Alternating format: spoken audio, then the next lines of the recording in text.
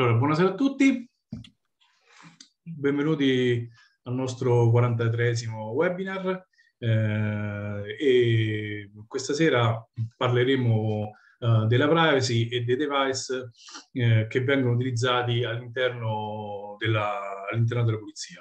Eh, a fare questo ci aiuterà mh, mm, il nostro segretario generale Massimiliano Mancini che è già eh, è cultore della materia e eh, anche presso la Sapienza eh, dell'Università di Roma. Eh, passo subito la linea a lui, così andiamo, acceleriamo, e che siamo già in ritardo. Buon proseguimento a tutti.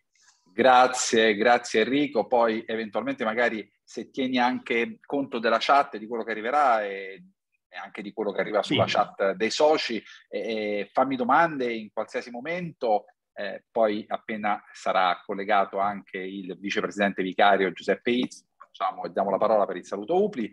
Allora, eh, ci sarebbe, c'è tantissimo da dire sulla privacy e ancora di più per quello che riguarda la privacy nell'ambito della pubblica amministrazione, dove abbiamo un tasso elevatissimo di gravissime irregolarità, se non addirittura di illegalità. E questo lo stiamo scoprendo nonostante ci sia diciamo così, una generale, usiamo la parola comprensione, da parte insomma, degli organi che forse limitano al massimo i controlli, ma eh, certo non ci se ne può esimere nel momento in cui c'è un esposto da parte dei cittadini, eh, un reclamo, una segnalazione, eh, situazioni che sono sempre più frequenti, perché si è capito che oggi il modo migliore per non pagare una sanzione è fare un reclamo al garante. E eh, nel 100% dei casi si deve dire si riesce ad andare a buon fine perché eh, c'è veramente una grande leggerezza, ci si affida troppo spesso solo a fornitori che volutamente omettono di avvisare che non basta fare acquistare i prodotti perché non c'è nessun prodotto che di per sé sia eh, eh, regolare se non valutato nel contesto specifico. Quindi attraverso un percorso che tenga conto della valutazione di proporzionalità che andrebbe fatta prima di comprare l'apparato, attraverso un percorso di verifica, ossia la valutazione di impatto, e dando per scontato che ci siano tutti i presupposti dell'ente, a cominciare dalla nomina del DPO, che nonostante obbligatoria fin dal 2016 e tollerata, ossia non si sono applicate le sanzioni amministrative sino al 2018, è una figura che è sempre e comunque obbligatoria in tutti gli enti pubblici, senza nessuna deroga e senza soluzione di continuità, cioè non ci possono essere neanche buchi. Sanzione applicabile in questi casi sino a 20 milioni di euro, non piccole somme.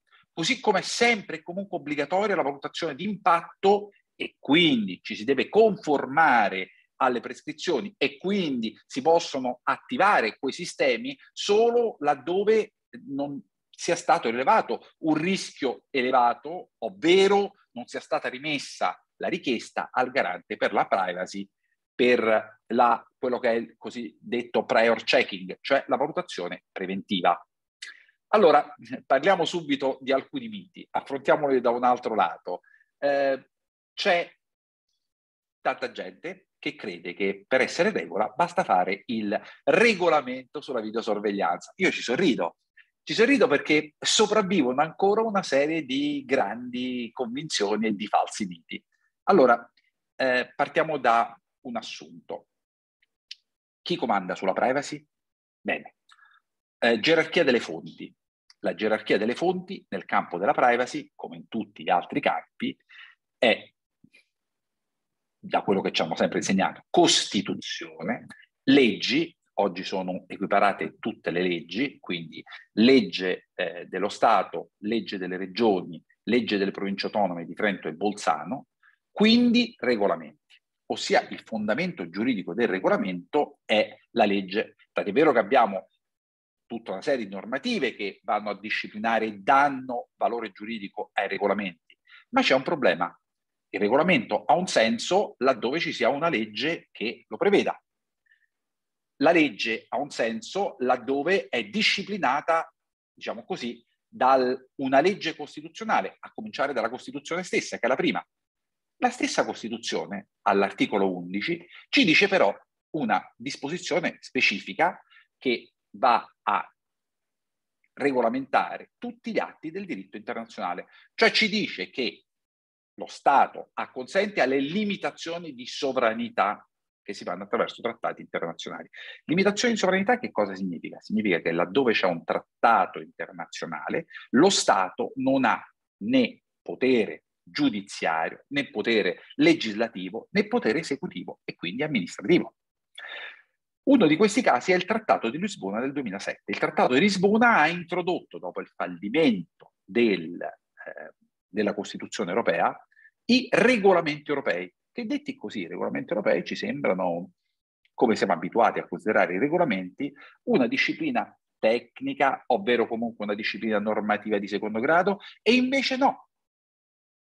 Nel momento in cui il regolamento è emesso in limitazione di sovranità, significa che il regolamento è al di sopra di qualsiasi legge dello Stato, anche della stessa Costituzione. Quindi, se lo Stato non ha il potere di disciplinare con legge tutto ciò che attiene alla privacy, o perlomeno tutto ciò che è ricompreso nel GDPR, pensate che possa farlo un comune con un proprio atto amministrativo?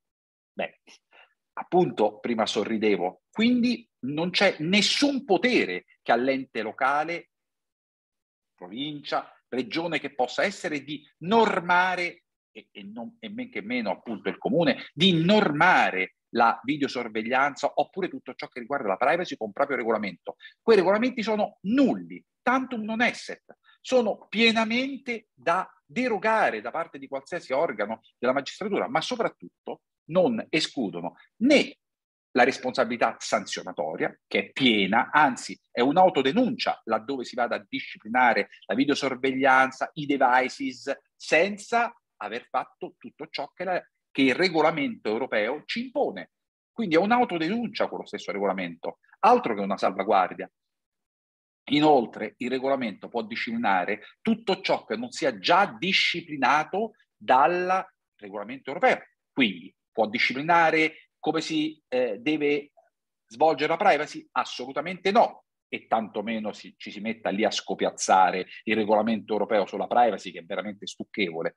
Può disciplinare la legittimità delle telecamere? Assolutamente no. Può disciplinare eh, l'uso delle bodycam? Assolutamente no. Può disciplinare l'uso, ad esempio, dei sistemi di radiolocalizzazione oppure l'uso di qualsiasi sistema che utilizzi la videosorveglianza? Comprese ad esempio anche le telecamere sulle ZTL, compresi anche ad esempio i sistemi di ripresa installati sulle macchine, oppure compresi anche i sistemi di ripresa mobili come vari sistemi per eh, riprendere le violazioni amministrative, le violazioni al codice della strada? Assolutamente no, e in nessun caso.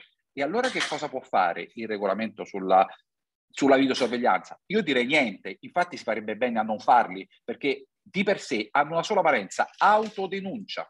Possono però tuttavia disciplinare tutto ciò che non è previsto dalle norme, ossia che cosa? Ad esempio i casi e le modalità in cui si può accedere ai dati della videosorveglianza legale, ai dati dei devices legali. Ecco sì, questo può farlo. Ci si può dire in che modo, con quale modo, ossia cose molto residuali, cose molto marginali non certo tutto il resto. Quindi qual è il fondamento per poter utilizzare qualsiasi sistema che vada a trattare i dati, a cominciare dalla videosorveglianza? Beh, punto primo, secondo il principio del privacy by design, prima di acquistare qualsiasi strumento si deve fare la valutazione di impatto. Prima di fare la valutazione di impatto si deve avere il DPO, si deve avere quindi le informative, si deve avere il registro del trattamento, e tutto questo ci deve essere prima ancora che si faccia qualsiasi cosa. Ci sono poi alcuni che pensano di mettersi in regola, anche qua permettetemi di fare un sorriso perché anche questa è una dichiarazione di violazione, andando a scopiazzare cartello- la cartellonistica. Beh, considerato che tanto, voglio dire, non cambia la sanzione, fanno bene quelli che non mettono proprio i cartelli in prossimità della videosorveglianza, degli impianti di ripresa, delle fototrappole, tanto voglio dire, si prendono la stessa sanzione. perché chi mette quel cartello, o peggio ancora, compra quei bei cartelli, quei, quei cartelli veramente inutili, vecchi, quelli che ancora insomma hanno solo il simboletto oppure non hanno le indicazioni obbligatorie, anche quelli tanto vale non metterli.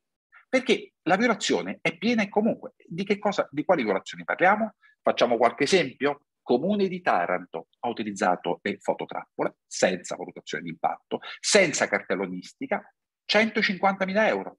Sapete chi paga? Beh, hanno cominciato già, e trovate, eh, insomma, basta vedere in rete, eh, Corte dei Conti, eh, sanzione per violazione privacy, addirittura per le violazioni commesse 11 anni fa, eh, quindi quando ancora non c'era il DGPR, ma valeva la 196 del 2003, la Corte dei Conti ha girato la sanzione, che all'epoca era veramente minima, piccola, erano solo 4.000 euro, li ha girati proporzionalmente su tutti i soggetti coinvolti, dirigente, funzionario, impiegato che ha, eh, che ha commesso la violazione e ad ognuno di loro ha ripreso con danno erariale quanto è stato pagato. Anzi, gli è andata bene perché è stata prescritta l'azione di responsabilità civile, perché l'altro danno che ne consegue è che la sanzione è non solo la condizione che rende illecita e illegittima qualsiasi, diciamo così, allora partiamo da un presupposto. Aver violato le norme sulla privacy, che cosa ne consegue? Innanzitutto che l'atto è lecito, quindi abbiamo una sanzione amministrativa piuttosto elevata. Non finisce qui. Se l'atto di accertamento è lecito, è illecito di conseguenza qualsiasi atto conseguente. Quindi qualsiasi sanzione amministrativa abbia elevato l'ente basato su quell'accertamento legittimo autovelox, ZTL, sanzione sui rifiuti eh, e chi più ne ha più ne metta, magari anche che so, l'accertamento sulla mancata copertura assicurativa, l'accertamento sulla mancata revisione, oppure il rilevamento dal quale ne è scaturita la sanzione per il sinistro stradale, anzi vorrei anche la stessa validità della ricostruzione del sinistro stradale laddove ci si è basati su mezzo illecito, è assolutamente illecita. Quindi tutte le sanzioni non sono più lecite, sono nulle perché ne consegue l'annullabilità della violazione amministrativa. Ma non abbiamo finito qui. L'aver violato, l'aver trattato illecitamente dei dati di un cittadino comporta un risarcimento civile. Quindi il cittadino farà giustamente causa all'ente, come già è successo, basta digitare online le cause di risarcimento e vedrete quanti di questi ne sono successi. Allora, trattare dati va fatto, non va fatto? No, va fatto, ma va fatto nel modo corretto, ossia rispettando le norme. Quali sono le norme? Allora abbiamo già detto, quali casi e in quali casi si attua? Ecco, vediamo i confini entro cui si attua la, eh, la normativa. Innanzitutto sono sicuramente esclusi eh, gli accertamenti che abbiano, diciamo così, finalità per le quali non si applica la normativa sulla privacy. Sono sicuramente esclusi gli accertamenti di polizia giudiziaria. Però attenzione, ne sono esclusi se fin dall'inizio un accertamento di polizia giudiziaria e se per il principio di limitazione delle finalità quell'accertamento non venga utilizzato poi eventualmente per fare anche altre violazioni.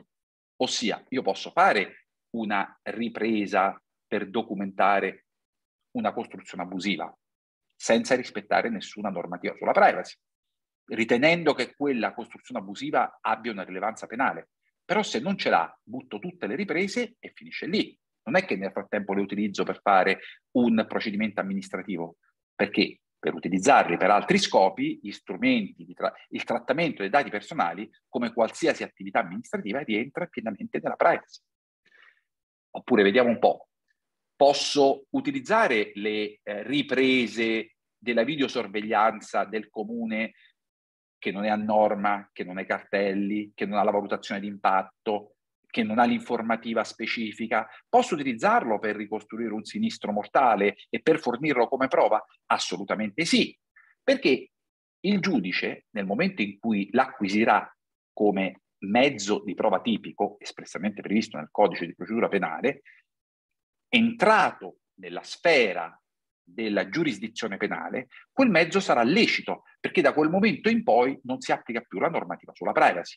C'è un problema però, che ciò non sana tutto quello che c'è prima. Quindi l'imputato giustamente potrà essere condannato sulla base di quei mezzi di acquisizione della prova, ma allo stesso modo potrà segnalare questi accertamenti al garante che applicherà una sanzione all'ente che l'ha utilizzato con la videosorveglianza in maniera legittima e potrà citare in giudizio per farsi risarcire l'ente, questo senza che venga meno la sua responsabilità penale e quindi la sua condanna.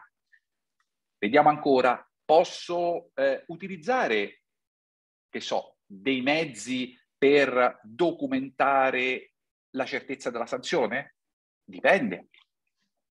Perché un altro dei miti che vedo che gira molto in giro è quello di utilizzare la videosorveglianza, comunque essa sia, eh, cioè portarsi il palmare, il mezzo di rilevamento palmare eh, per accertare la sanzione, così i cittadini non fanno ricorso, beh, questo è una cosa davvero molto pericolosa. Innanzitutto perché manca il principio di proporzionalità, ossia noi sappiamo ai sensi dell'articolo 5 del GDPR che riguardano i principi applicabili al trattamento dei dati come devono essere legittimi.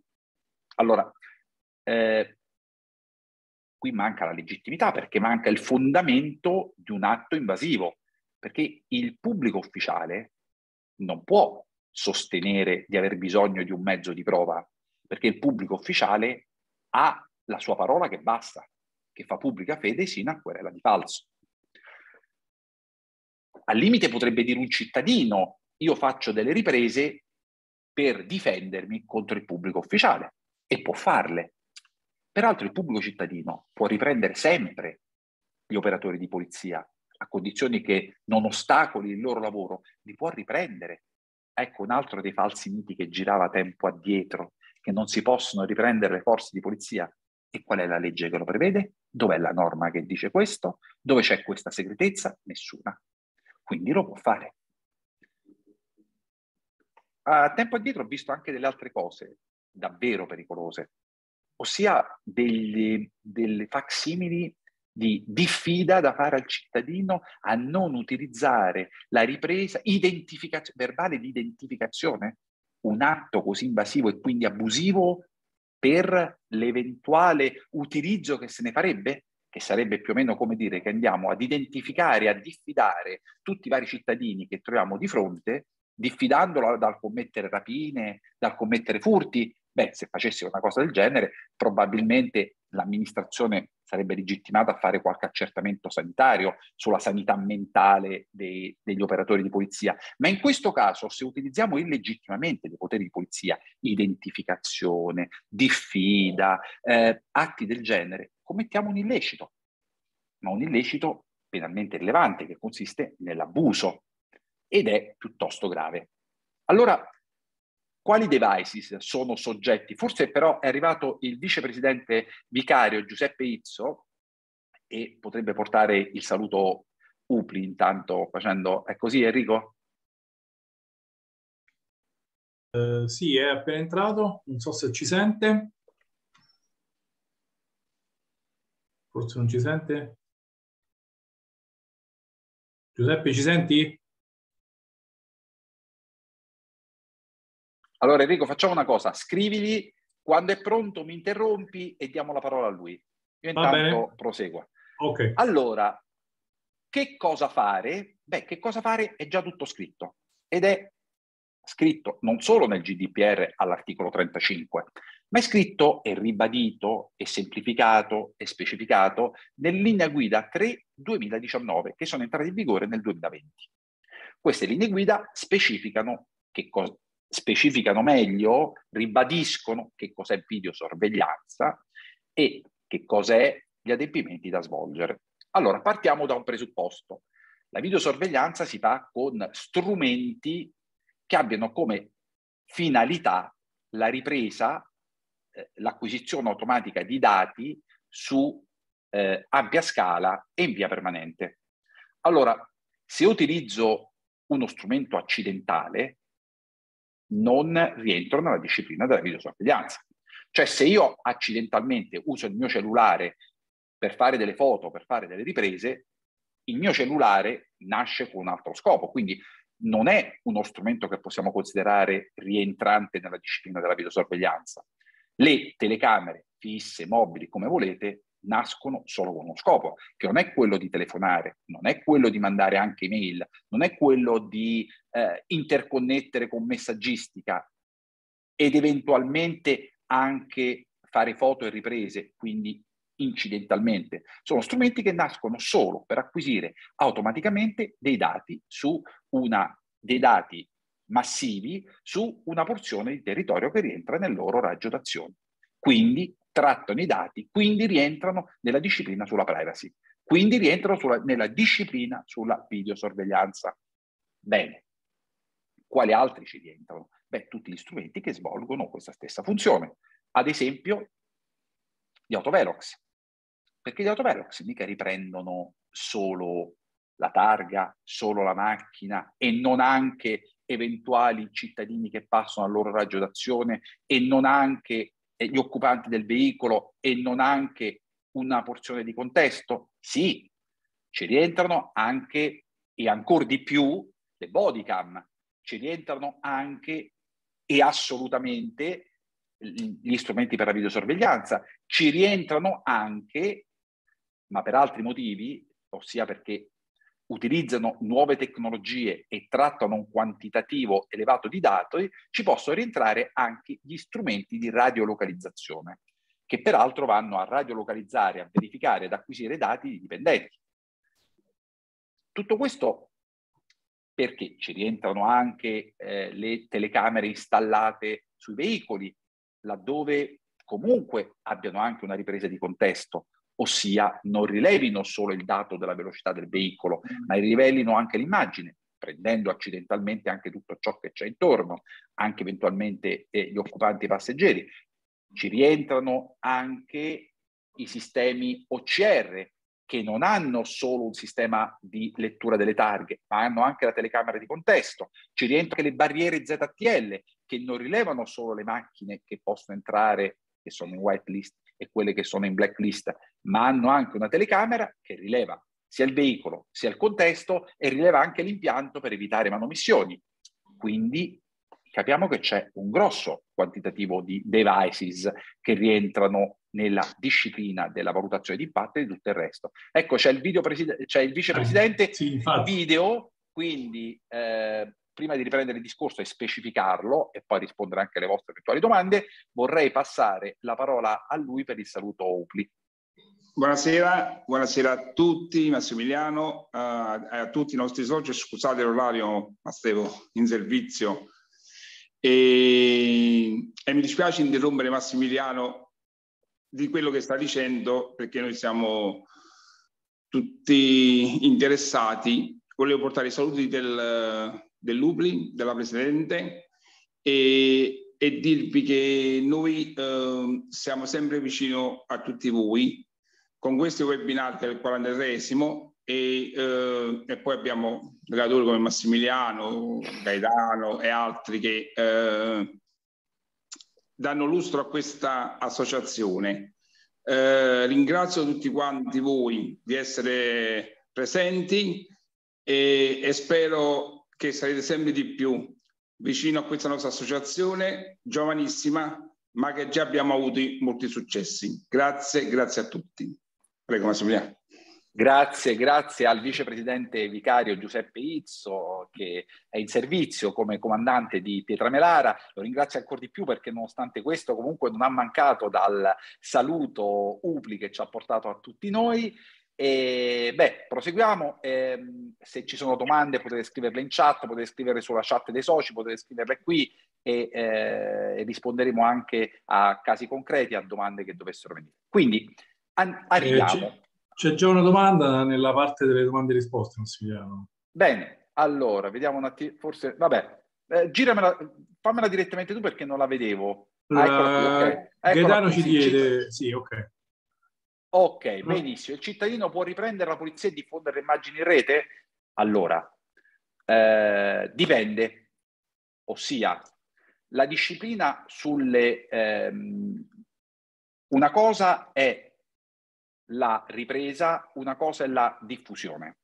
La ripresa fatta con un mezzo accidentale come è il proprio cellulare è sicuramente sempre consentita. La diffusione no, perché la diffusione eh, comporta la appunto messa a conoscenza di un gruppo è possibile la comunicazione, ma non la diffusione. Ecco, entriamo nel merito di questi due termini che vengono definiti dal, dalla parte che è sopravvissuta della 196 del 2003, come è stata anche modificata ed integrata dalla 101 del 2018. Allora, che cosa, che cosa cambia? Cambia molto. La comunicazione è il trasferimento di dati specifici a soggetti specifici. La diffusione è la comunicazione di dati specifici a soggetti indeterminati. Ed è molto diverso. A chi si può eh, comunicare? Beh, in realtà si può comunicare a chi ha titolo a eventualmente conoscere quei dati.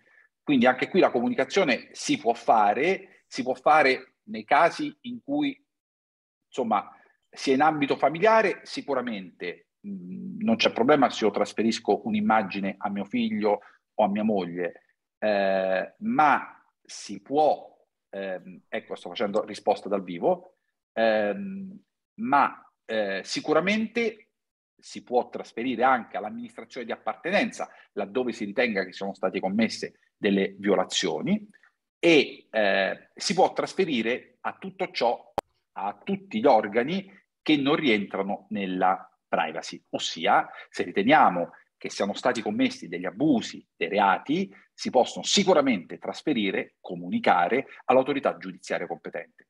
Tutti gli altri casi il trattamento è lecito, ma questo non perché sia una forza di polizia, perché la diffusione pubblica è illecita di qualsiasi soggetto, a meno che non si rientri nella disciplina delle immagini di cui è la legge del 68, ossia eh, si possono utilizzare immagini che riprendano anche persone fisiche, laddove non siano l'oggetto della fotografia e laddove non si oppongano e laddove non siano immagini imbarazzanti. Voglio dire, se io faccio una foto a Piazza di Spagna, faccio una foto in un luogo paesaggisticamente rilevante, non è che ho bisogno di andare da ogni singola persona che accidentalmente è lì dentro e chiedergli che mi firmi il consenso. Posso pubblicare l'immagine laddove però sia evidente che l'oggetto di quella immagine sia tutt'altro che non le persone che accidentalmente ci rientrino. Dunque, un'altra domanda dal collega del Consiglio direttivo Carmine Buccero. In tema di accesso video da parte di privato, in caso di sinistro stradale, senza che ci sia stato intervento della PM, quali sono gli obblighi della pubblica amministrazione, detentrice delle immagini e qualche consiglio operativo? Grazie Carmine, una, una domanda molto interessante. Allora, gli obblighi il problema non è il diritto di accesso, perché il diritto di accesso a questi dati parte, sebbene insomma solo inizialmente come una richiesta di accesso a qualsiasi dato detenuto dalla pubblica amministrazione. Quindi il discorso riguarda quali dati si possono dare, perché sia chiaro, la 241 del 90 è una comune legge dello Stato italiano, ma è solo una legge, quindi viene dopo la privacy. Quindi il diritto all'accesso dei dati anche da parte dei consiglieri comunali non è un diritto assoluto perché il diritto di accesso dei cittadini è disciplinato dalla 241, il diritto di accesso dei consiglieri comunali dalla 267 del 2000, il TUEL, entrambi sono leggi ordinarie dello Stato, quindi vengono dopo il GDPR, come abbiamo specificato prima nella gerarchia delle fonti.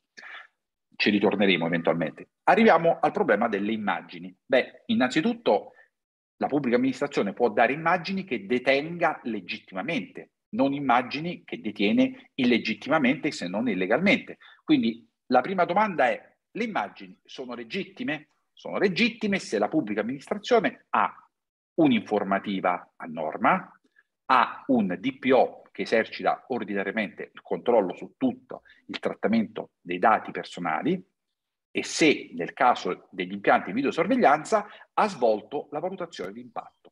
Altrimenti le telecamere devono essere spente, altrimenti qualsiasi sistema di videosorveglianza non deve essere utilizzato, fosse anche il telelaser con la ripresa, fosse anche l'autovelox, fosse anche la bodycam, fosse anche la dashcam sulla macchina, fosse anche qualsiasi altro sistema. È illecito e legittimo. Quindi se le immagini sono illecite, figuriamoci quanto ancora più illecito ne diventa la comunicazione o la diffusione. Diffusione comunque non può farlo. A proposito, ci sono alcuni criminali, perché vanno utilizzati per questo nome, e vi invito tutti a segnalarli al garante, ci sono alcuni criminali che svolgono anche il ruolo di ehm, amministratori pubblici che si divertono ad utilizzare la gogna. Ecco, io come li trovo adesso, proprio come mio principio personale e morale, prendo e li segnalo subito al garante.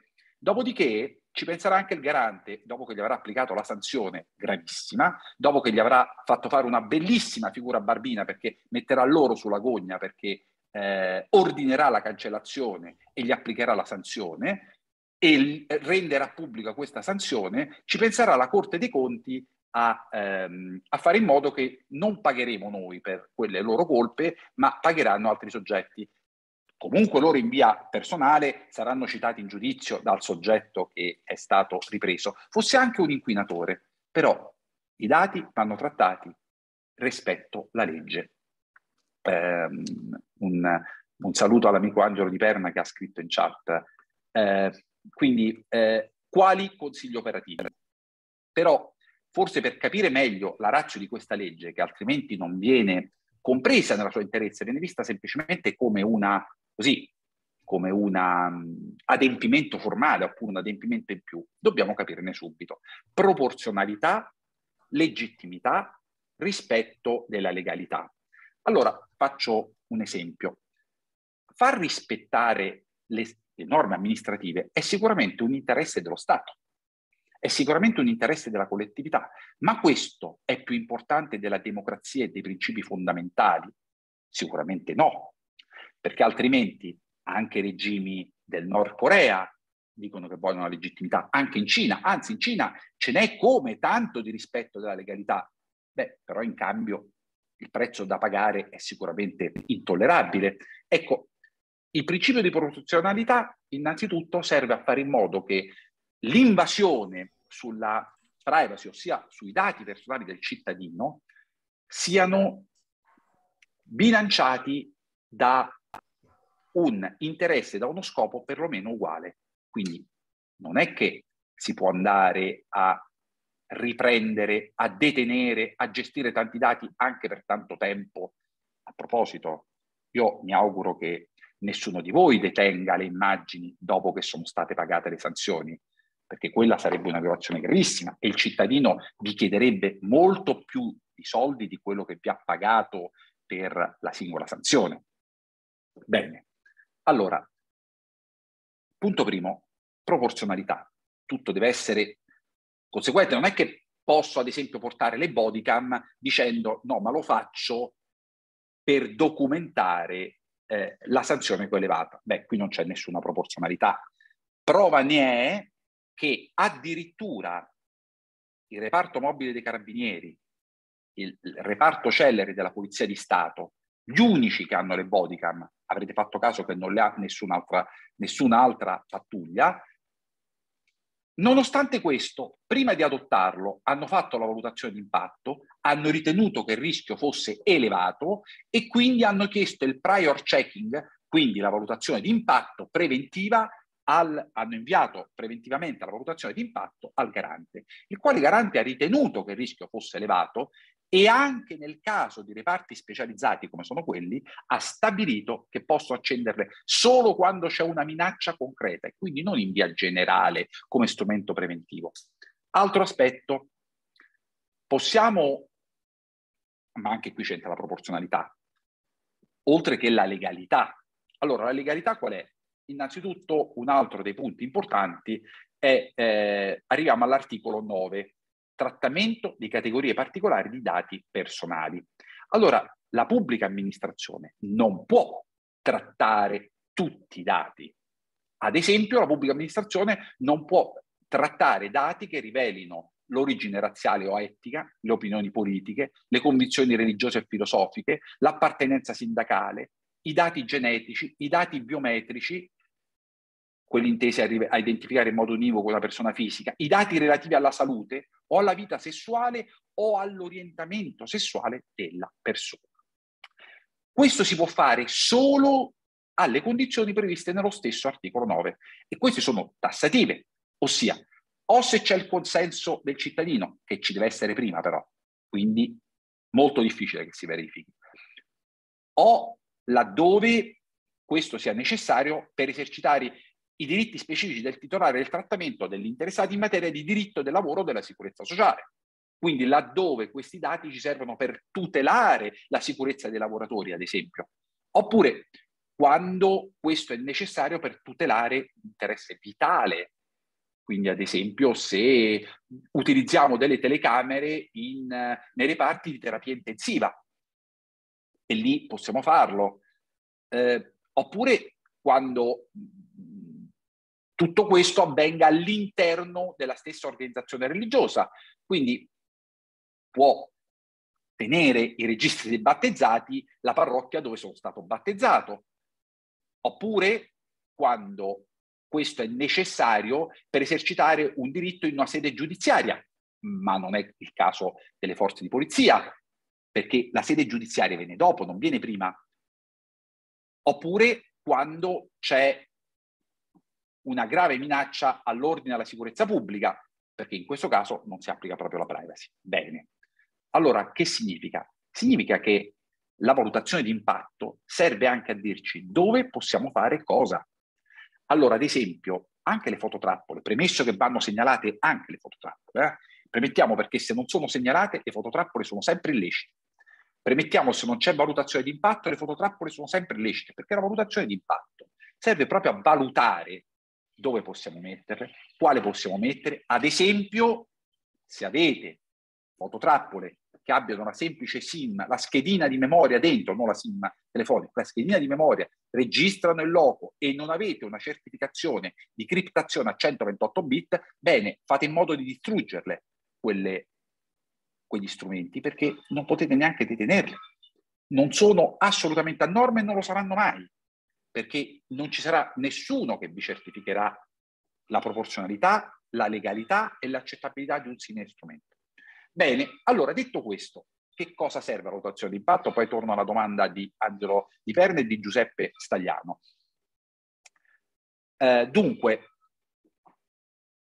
arriviamo subito al dunque. La valutazione di impatto ci va a valutare innanzitutto la legalità. Quindi, ad esempio, prima di porci il problema della proporzionalità, dobbiamo porci il problema della legalità. Quindi, ad esempio, non potremo mettere autovelox, non potremo utilizzare videosorveglianza in ogni caso in cui il raggio d'azione vada a riprendere, ad esempio, l'ingresso di una chiesa, l'ingresso di un locale di culto, eh, oppure che vada a riprendere un locale gay, oppure eh, un'associazione per la promozione dei diritti dei transessuali, oppure anche semplicemente un sexy shop, perché, oppure la sede di un sindacato. Ecco, in questi casi non si può fare, a meno che non stiamo accertando, ma non preventivamente, stiamo concretamente accertando un reato, ma in tutti questi altri casi non si può fare. Quindi la valutazione di impatto ci dirà gli strumenti, qualunque essi siano, anche la ZTL,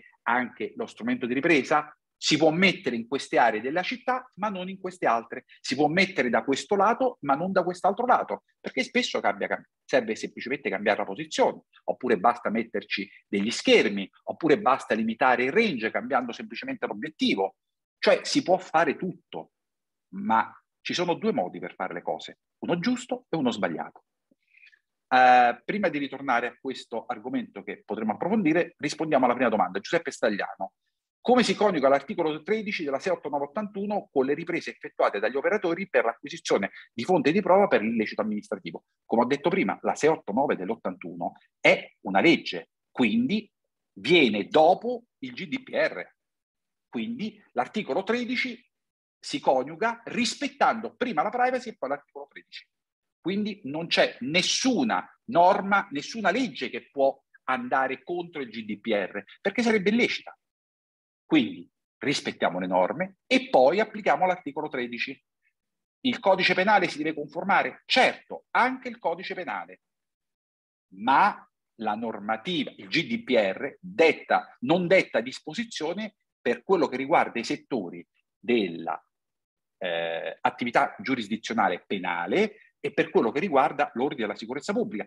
Però c'è una direttiva in questo caso, quindi che detta un obbligo generico degli obiettivi da conseguire e non delle norme che sono immediatamente esecutive, che è la 690, quindi eh, che impone che anche nei settori esclusi dall'applicazione della privacy gli stati adottino delle misure per garantire diciamo così, dei livelli minimi di sicurezza del trattamento dei dati personali. Quindi l'articolo 13 vale dopo la privacy. La, tutta la legge 689 dell'81 vale dopo la privacy. Tutta il eh, codice della strada vale dopo la privacy. Se c'è qualche altro dubbio sono, sono, sono qua. Allora, Angelo Di Perna, tornando al tema della richiesta alle immagini e le telecamere sono regolarmente installate, se l'accesso avviene in base all'articolo 15 del GDPR, come tale si pone in, anti, si pone in antisi al diritto di riservatezza, quale dovrebbe prevalere? Innanzitutto, allora, partiamo dall'assunto, per chi non lo conoscesse, l'articolo 15 dice quali sono i diritti di accesso dell'interessato. Eh, quindi le richieste alle immagini sono regolarmente installate allora, eh, se è in contrasto con l'articolo 15, gli si rifiuta il diritto di accesso. Se è conforme all'articolo 15, cioè ehm, ci viene posto una, eh, diciamo così, la richiesta di motivazione era già previsto dalla 240 dalla legge 240 eh, sul da tutta la normativa sull'accesso ai dati. Quindi, innanzitutto, ci serve sempre una motivazione. La normativa sulla privacy, la motivazione la rafforza ancora di più l'obbligo di motivazione, perché non bisogna semplicemente assolvere diciamo così, al presupposto per poter richiedere un accesso ai dati. Ma questo accesso dai dati deve rispettare i principi della privacy, ad esempio il principio di minimizzazione dei dati, ad esempio il rispetto dell'articolo 9 rispetto alle categorie particolari di dati, ad esempio il fatto che ehm, il principio stesso di limitazione dei dati fa sì che possano essere resi pubblici i dati o comunque resi conoscibili al cittadino, ammesso che rispettino quei presupposti che risiedono appunto nella normativa a cominciare dall'articolo 15, quindi è solo conformemente a quello, ma non è che un on-off, cioè o te li do o te li rifiuto. L'accoglimento deve sempre tener conto del principio di minimizzazione dei dati, quindi diamo il quantitativo minimo di dati per assolvere quella finalità legittima che abbiamo ritenuto legittima ai sensi della normativa della privacy. Facciamo qualche esempio concreto? Beh, allora immaginiamo che ad esempio il, ehm, il consigliere comunale eh, chieda di avere accesso ai dati del protocollo. Glieli diamo? Ma il suo diritto di accesso è riconosciuto dalla, eh, dal TUEL, dal testo unico degli enti locali. Sì, è RIPSA, quindi significa che eh, non deve darci la motivazione ma questo diritto gli deriva da una legge, non gli deriva dal GDPR. Quindi il suo diritto d'accesso non è assoluto, ma deve rispettare il GDPR. Quindi, innanzitutto, tutti i dati sensibili, cosiddetti dati sensibili, oggi si chiamano più correttamente categorie particolari di dati, secondo me non ha alcun diritto ad averli se non ci specifica il caso concreto conforme alla normativa. Quindi, ad esempio, io sbianchetterei nella sua richiesta, come ho già detto, dando un parere come DPO, perché io poi in questi casi vi consiglio sempre di non prendere direttamente voi delle decisioni, ma avete un DPO, il DPO non è semplicemente così il, l'esperto informatico che si inventa oppure l'amico che siccome un amico gli abbiamo dato questo incarico e quindi tanto non serve molto e si inventa di fare anche questo lavoro. Deve essere una persona che anche preventivamente valuta la regolarità del trattamento e quindi gli chiediamo di esprimersi e di esprimere un parere. Peraltro in questi casi, come sapete, il tempo del diritto di accesso, quindi 30 giorni, vengono sospesi perché comunicate al soggetto che avete richiesto un parere al DPO e che quindi nei 30 giorni che a sua volta il DPO per fornirvi un responso il tempo del diritto di accesso è sospeso nei 30 giorni, che però potrebbero anche essere prolungati laddove il DPO ci dia una motivazione per cui ha bisogno di fare ulteriori approfondimenti. E quindi riprenderete il conteggio del tempo per il diritto di accesso quando avrete ricevuto il parere. Parere che naturalmente nel, nel principio, nell'ottica dell'accountability, che è il cuore del sistema di questo, della normativa sulla privacy, la pubblica amministrazione si prenderà la responsabilità di eh, concordare oppure di divergere e quindi di procedere oltre, così come il DPO in questo caso sarà libero di ehm, laddove ritenga questo una violazione, non sarà libero, avrà l'obbligo di segnalare questo comportamento al garante per la privacy. Spero di essere stato esaustivo, se no richiedetemi ancora oltre. Eh, nel frattempo che non ci siano altre domande, proseguo. Quindi la valutazione di impatto è qualcosa di sostanziale. L'informativa sul trattamento dei dati è qualcosa di sostanziale. Infatti sono state sanzionate delle amministrazioni, ad esempio l'ASL di Frosinone, tanto per dirvene una, che ha pagato, è stata anche trattata bene, 7.500 euro perché ha rimediato subito, perché hanno messo delle informative un po' generiche, perché ci sono ancora quelli che pensano che tanto le informative basta scopiazzarsele su internet, che basta affidarsi a un privacy officer, perché chiariamo, eh, il DPO, facciamo subito questa chiarezza, il DPO è un soggetto che viene pagato per controllare, non ha l'obbligo di fornire anche la documentazione, di, controll- di eh, mettervi a posto i registri, di farvi tutti questi lavori qui. Il DPO ha questa funzione, controllare. E sicuramente non può svolgere questa funzione chi è controllato, cioè è sicuramente illegittima e da segnalare al garante laddove questa funzione venga svolta, che so, magari da chi per primo deve essere controllato come dirigenti del comune, a meno che a quel dirigente non gli date nessuna funzione concreta di trattamento dei dati, ma gli si dà soltanto la funzione di svolgimento dell'attività di, di DPO. Ma se si fa questo, bisogna dargli anche un'integrazione stipendiale, perché siccome la sua funzione è gerarchicamente sovraordinata, perché nella sua attività di controllo agisce senza passare attraverso nessun altro organo, quindi svolge le funzioni perlomeno pari al direttore generale. Infatti, chi conosce la normativa se ne guarda bene dall'utilizzare una figura interna, ma gli costa molto meno dare un incarico esterno. Il problema è che bisogna prendere però dei DPO competenti. Avete bisogno anche di chi vi metta a posto la documentazione, di chi vi prepari delle informative serie e non scopiazzate? Bene, quello è il privacy officer che vi fa questo lavoro. Certo, in via teorica potrebbero essere anche la stessa persona. Certo, da valutare. Sicuramente non può essere la stessa persona chi vi fa la valutazione di impatto è il DPO, perché il DPO ha l'obbligo di dare il proprio parere sulla valutazione di impatto e quindi non può essere chi ha realizzato e chi è controllato, non può controllarsi da solo, questo è evidente. Quindi sicuramente lì c'è un'incompatibilità totale, Rispetto ad altre funzioni si può chiedere al DPO con un incarico a parte di fare anche il privacy officer e quindi di realizzare informative serie, non come ecco, spesso succede scopiazzate, perché l'informativa ci devono dire concretamente che cosa ci si fa e per quanto tempo e per ogni trattamento, non per fini di sicurezza, che non significa niente. Non per il tempo necessario ad assolvere il trattamento dei dati. No, mi dovete dire quanti giorni detenete quell'atto e mi dovete specificare che dopo che ho pagato la sanzione, voi, tempo massimo tecnico 24 ore, cancellate il dato, altrimenti fate un trattamento illecito. Ehm, ecco, eh, se avete altre domande, se no proseguo. Eh. Ecco, mh, mm, altro aspetto, mm, non potete dare delle indicazioni generiche sulla tabella informativa.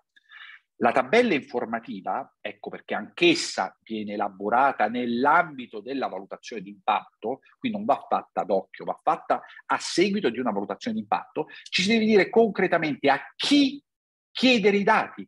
Perché vedete, se io sono in una zona che avete regolarmente segnalato, perché se non avete segnalata vi faccio causa a prescindere e vi segnalo a prescindere al garante sicuramente pagherete. Ma se sono in una zona che avete regolarmente segnalato prima che entro nel raggio d'azione, perché la tabella non è che potete metterla sotto la telecamera, quindi che io vengo prima ripreso e poi leggo che entro in un'area videosorvegliata. La tabella mi deve avvisare prima di ogni ingresso in un'area videosorvegliata che c'è la videosorveglianza. A condizione che questo non avvenga in alcuni contesti dove invece anche qui non è che la valutazione di impatto dovrà tener conto prima di alcuni atti preliminari rispetto ai quali altrimenti non si possono fare. Questo è il caso di tutti i trattamenti di dati che coinvolgano personale dipendente. E questo è il caso, ai sensi dello Statuto dei lavoratori, la legge 300 del 70, in tutti i casi in cui le telecamere riprendano zone di passaggio dei lavoratori. Ecco, io mi auguro che non ci sia nessuna telecamera che riprenda, ad esempio, l'orologio marcatempo, perché se c'è questa, so già che è legittima, perché non ci potrebbe essere nessun caso che giustifichi la proporzionalità e ancora posso ancor meno credere che ci sia stato un accordo sindacale che lo abbia consentito.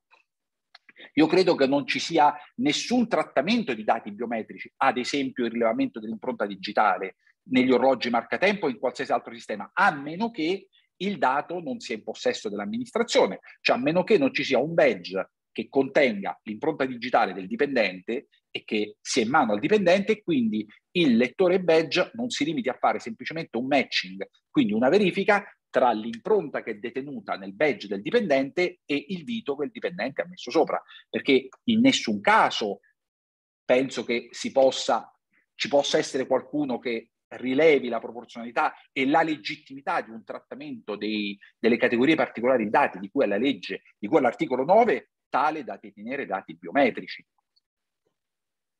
Allora capiamo che diventa tutto particolare, ma anche tutto molto semplice se si fa rispettando le regole. La valutazione di impatto, che deve essere anche aggiornata poi, perlomeno, insomma, quando ci sono delle variazioni, ma io direi annualmente, serve proprio a dare legalità all'azione amministrativa, legittimità e a tutelare gli operatori della polizia su strada, perché poi alla fine se ne risponde personalmente di fronte alla Corte dei Conti dei danni che si sono fatti. Quindi eh, che, cosa, che cosa fa la valutazione di impatto? Beh, va a fare una valutazione preliminare sul territorio. Ecco, quindi diffidate da quelle che ve le danno in pochi giorni e ve le danno già pronte, perché quelle non servono a niente, quelle sono inutili. Aggiungo un'altra cosa. Il rischio non va mica valutato in maniera discrezionale, ci sono le norme uniche che stabiliscono come fare la valutazione del rischio. Allora, come si fa? Si parte innanzitutto dalla eh, valutazione della sicurezza del sistema dall'idoneità dei mezzi di ripresa, tutti, eh, compreso anche gli eventuali tablet, compreso anche le barriere ZTL, compreso anche gli eventuali autovelox fissi e mobili, compresi anche i sistemi per il rilevamento della copertura, eccetera, eccetera, cioè i, eh, la radiolocalizzazione, gli eventuali bodycam, eccetera, eccetera, eccetera. Quindi si parte prima dalla valutazione della legalità del prodotto, dalla valutazione della legalità del sistema, quindi della sicurezza, perché sicurezza e legalità sono due facce della stessa medaglia, quindi la stessa cosa. Eh, dopo di questo si parte alla valutazione della proporzionalità, cioè ogni sistema bisogna dire sì, considerato il rischio, considerato il contesto, considerato il bene da proteggere, si valuta proporzionale, perché se non c'è proporzionalità è illegale anche questo. Terzo aspetto, bisogna valutare i dati che vengono trattati, quindi i contesti dove si può eseguire la ripresa e dove no. Quindi voglio dire dove posizionare un sistema di controllo delle targhe, di, ehm, di autovelox, di fotored e di tutto quello che volete, ci sono zone dove si può fare e zone dove non si può fare. In alc- alcune zone potrebbero essere temporaneamente inutilizzabili. Ad esempio, potete legittimamente riprendere le sedi scolastiche, però dovete avere un sistema affidabile, certo e tracciabile che garantisca la disattivazione del sistema ogni qualvolta quella, quella sede scolastica, quell'edificio scolastico venga utilizzato come seggio elettorale, perché in quel caso non avete nessun diritto, anzi avete il divieto di riprenderlo, perché anche solo rilevare se il soggetto è andato a votare oppure se non è andato a votare, anche questo è un dato che attiene alla sfera delle preferenze politiche e quindi non si può acquisire perché è espressamente vietato. C'è proprio l'articolo 9, in quel caso non si fa nessuna valutazione di proporzionalità, in quel caso c'è il divieto e basta. Così come ad esempio non è che possiamo riprendere legittimamente l'ingresso del pronto soccorso, potremo farlo a determinate condizioni. Non è il nostro caso perché immagino che nessun comune metta una cosa del genere, ma la ASL potrebbe farla ad una condizione, ossia se in questo caso eh, lo strumento di ripresa, valutando il rischio nella valutazione di impatto, eh, registri dati su un'area non accessibile se non alle forze di polizia a seguito di una CNR o comunque a seguito di un fatto delittuoso che quindi escluda l'applicazione della privacy. Quindi dove non ci sia la possibilità di guardare le immagini, ma vengano prese solo dalle forze di polizia a seguito di una denuncia di un reato. Lo stesso dicasi per la sorveglianza di alcune aree che di per sé potrebbero essere escluse. Ad esempio, potremmo eh, riprendere la sede comunale anche laddove entrano i dipendenti, anche dove i dipendenti si recano al lavoro, eh, laddove utilizzassimo, garantendo tutte le sicurezze del caso, che questi dati non sono accessibili a nessuno se non alle forze di polizia, anche la stessa polizia locale, perché non è che il fatto di essere colleghi eh, fa venire meno la, eh, le qualifiche che si rivestono. Gli operatori di polizia sono agenti ufficiali di polizia giudiziaria, secondo i casi, secondo gli ordinamenti di amministrazione, secondo l'articolo, quello, la, insomma, quello che prevede l'articolo 57 del CPP, purtroppo particolarmente arretrato, purtroppo particolarmente vergognoso nel caso della polizia locale che continua a chiamare le guardie dei comuni e delle province, ma questo è un altro discorso. Però sappiamo insomma, la disciplina della legge 6586, articolo 5, la, il conferimento delle qualifiche anche di polizia giudiziaria, quindi lo possono fare anche, ma non in via, cioè quell'immagine non può arrivare nella centrale operativa. Quella deve essere una di quelle immagini riservate che vengono, che quando c'è un accesso attraverso un registro certo ci dica che c'è stato prima un reato e non un controllo, non una valutazione preventiva. Non ci sono altre domande? Andiamo avanti? Eh, abbiamo ancora poco tempo, abbiamo ancora pochi minuti. Beh, quindi in questi ultimi minuti i consigli pratici. Allora, se non avete valutazione di impatto, il primo consiglio spegnete tutto. Il primo consiglio non utilizzate nessuno strumento che riprenda. Il primo consiglio è tenete subito tutto dentro e auguratevi che nessuno protesti e che non vengano a farvi un controllo. Punto secondo, se non avete nominato un DPO, dite di corsa alla vostra amministrazione che lo devono fare, altrimenti, soprattutto per chi riveste la qualifica di polizia giudiziaria, avete l'obbligo di segnalare questa sanzione, avete l'obbligo di accertare questa grave violazione e segnalarlo al garante per la privacy. Non avete l'esimente dall'omissione di atti d'ufficio se non lo fate e se vi chiederanno perché non l'avete fatto, dicendo che però d'altronde è la vostra amministrazione. Perché in quel caso non si è compressivi, si è collusivi. Punto terzo, verificate come stanno le informative. Se non avete un privacy officer, oppure se il vostro eh, DPO è privacy officer, perlomeno potete chiedergli però di verificare subito la legittimità del registro dei trattamenti, della, delle informative, delle informative. Non ci può essere una sola informativa, perché le informative devono essere specifiche e voi avete tanti trattamenti per tanti soggetti il trattamento dei soggetti sanzionati da parte delle forze di polizia è completamente diverso dal trattamento dei dati dei soggetti che accedono negli uffici comunali per altre finalità, ad esempio di chi comunica i propri dati per avere i buoni mensa oppure per avere l'iscrizione dei propri figli al servizio scuola, bus oppure alla, alle primarie passando per la scuola, scusate, agli asili nido passando per il comune quindi non ci può essere un'informativa. L'informativa da dare ai dipendenti non c'entra niente con l'informativa per i cittadini. L'informativa per le varie categorie di dipendenti, perché non è detto che si trattano i dati di tutti allo stesso modo, beh, dovranno essere specifiche. Questo solo per dirvi alcune. Le informative dei cittadini che andate a video riprendere per varie finalità, bene, gli dovete dire di ogni finalità che gli fate e per quanto tempo lo detenete e dovete garantire che quel tempo sia rispettato Altro aspetto, ehm, dopo che avete fatto tutto questo, affidate a soggetti competenti la valutazione di impatto.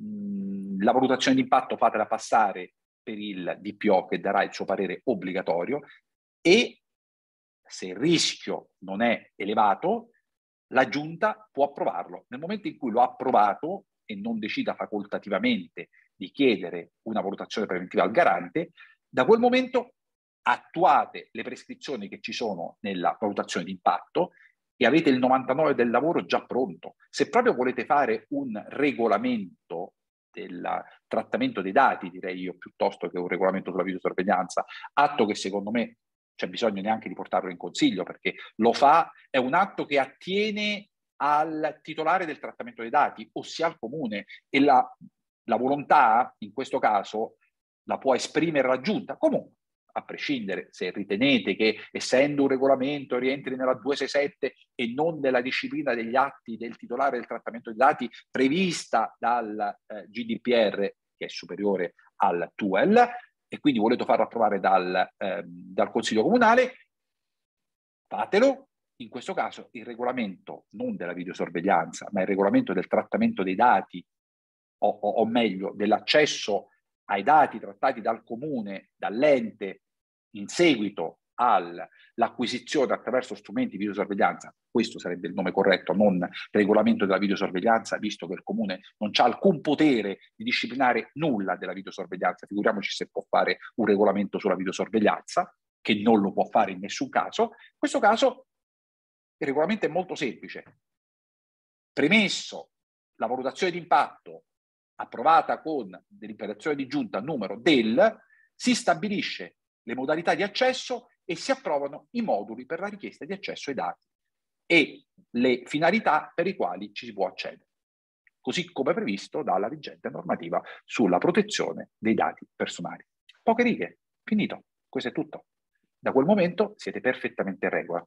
Tabellazione di tutte le aree sottoposte a controllo elettronico della velocità, a ZTL. A proposito, se vedete, a proposito, www.eticasocietas.it, trovate una serie di articoli che vanno semplicemente a commentare i provvedimenti del garante, bene, troverete che un comune è stato sanzionato perché il cittadino aveva ritenuto che sul, sull'autovelox, un cittadino sanzionato per l'autovelox, che l'autovelox non avesse, l'autovelox fisso, non avesse l'informativa sul trattamento dei dati e non avesse la, ehm, eh, l'avviso di zona, la tabella di area videosorvegliata, bene, nonostante questo, il garante ha accertato che invece c'era, quindi era uno dei pochi comuni che non ha messo semplicemente il cartello velocità controllata elettronicamente, ma prima e accanto a questo cartello ci ha messo anche area videosorvegliata, correttamente la tabella informativa, però ha risposto oltre 30 giorni al cittadino che gli chiedeva spiegazioni su questo. E in questo caso il garante non ha applicato la 241, ma invece ha applicato la stessa normativa sul GDPR che impone al titolare del trattamento dei dati di rispondere senza ritardo alle richieste di cui appunto ai diritti del cittadino articolo 15, ma direi anche articolo 13 sul eh, trattamento, in questo caso proprio pienamente articolo 13, perché nel momento in cui gli chiedeva perché era stato ripreso, e non gli chiedeva se era omologato ai sensi del codice della strada, ma gli richiedeva proprio che, che utilizzo ne facessero di quelle immagini, quindi gli faceva una richiesta sul proprio trattamento dei dati, in questo caso 30 giorni sono considerati proprio il massimo assoluto, perché il termine è senza rispetto, senza ritardo, non c'è entro 30 giorni, ovvero dimostrando, come dice la 241, il GDPR ci dice senza ritardo. Quindi non gli hanno proprio risposto, gli hanno risposto dopo che il garante gli ha chiesto spiegazioni e gli hanno applicato comunque 4.000 euro di multa, 4.000 euro di sanzione amministrativa. Pur avendo invece tutto questo, figuratevi se prima di, quel, di quell'impianto non avevano area videosorvegliata, informativa sul trattamento dei dati, tempo in cui si detenevano queste immagini.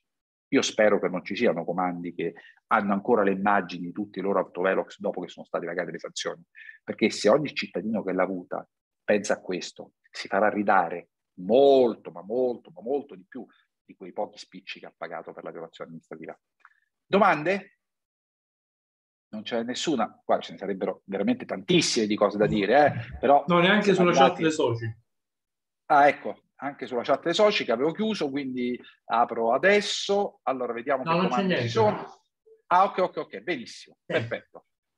Bene, allora siamo a vostra disposizione. Eh, voglio ricordarvi il vantaggio di essere soci UPLI che sulla chat potete chiedere non solo a me o ad altri per quello che riguarda la privacy, ma anche su tutti i vostri dubbi ed avere a disposizione la famiglia UPLI che risponderà a tutte le vostre domande. Voglio ricordarvi anche il vantaggio di avere 43 attestati e siamo solo a metà dell'anno, utilissimi più di qualsiasi altro partecipante a concorsi, verticalizzazione, avanzamenti di carriera. Quindi, insomma, veramente pagando una quota così misera, avere tutto questo ed è un grandissimo vantaggio per Upli, per i soci Upli.